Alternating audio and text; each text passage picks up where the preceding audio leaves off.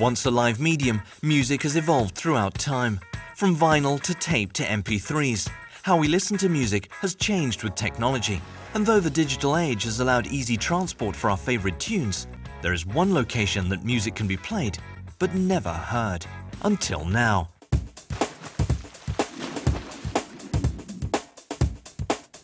Tech Toys dives right in with the latest in underwater high-tech gadgets. Finis, a company that specializes in swimming-related equipment, was founded in 1993 in Northern California by Mavericks John Mix and Olympic gold medal swimmer Pablo Morales. So the, uh, the first products came out uh, in December of 94. That's when we first introduced the monofin.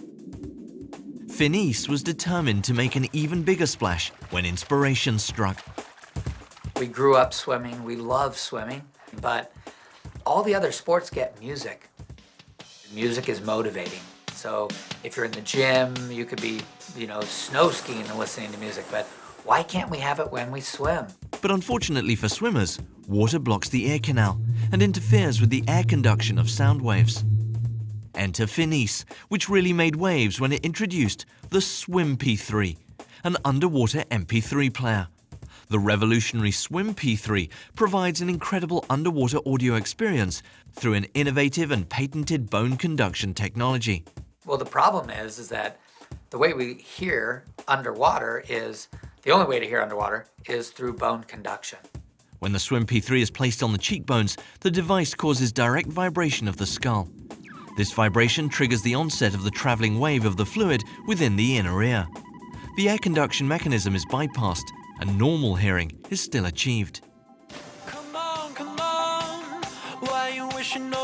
Though complex, this system is extremely efficient and allows our human ear to perceive the faintest of sounds in our air-filled environment. Live on, live on. Say everything that you need to say. 'Cause nothing The Swim P3 headset consists of two speakers that are connected by a cable. Each speaker measures a mere one and a half by three inches. The first time a person tries the Swim P3 and they, they, they put it on and they're still a little bit like, okay, so I hear the noise, I hear the noise. They go underwater and they come up and they are just beaming. Their eyes are wide open, they're smiling, and they go like, oh my gosh, this is unbelievable. The sound is just that good.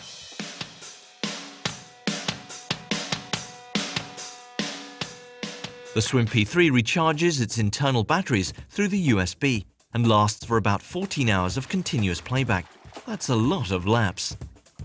Finis is committed to the discovery and development of innovative swimming products that enable Olympic athletes such as gold-winning medalist Jason Lezak or everyday swimmers trying to reach their individual goals. And with the Swim MP3, reaching their goals is music to their ears, or in this case, to their bones. On, come on. Why you wishing all your days away